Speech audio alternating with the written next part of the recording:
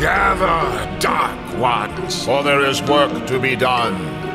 Hidden by the veil of night, we start our soul-wrenching ritual of abyssal horror. Prepare and... Yeah!